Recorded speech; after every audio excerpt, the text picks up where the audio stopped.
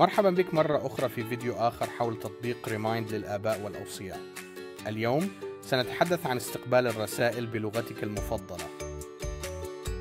قم بفتح تطبيق Remind على جهازك. بمجرد تسجيل الدخول انقر على أيقونة الهامبرجر في الزاوية اليسرى العلوية من شاشتك. من هنا سترى رمز التروس الموجود على يمين اسمك. انقر على أيقونة العتاد لفتح الإعدادات الخاصة بك. عند فتح قائمة الإعدادات. حدد حسابك في أعلى القائمة. انتقل إلى قسم اللغة المفضلة وانتقل لأسفل في إعدادات حسابك. انقر على النص الأزرق المسمى تغيير لاختيار اللغة المفضلة لديك.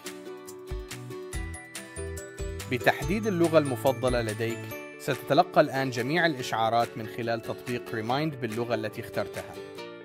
تكون قادرا على إرسال رسائل بهذه اللغة يمكن ترجمتها للإنجليزية لفريق عملنا في ملناب شكرا لك على الانضمام لمشاهدة درس آخر عن ريمايند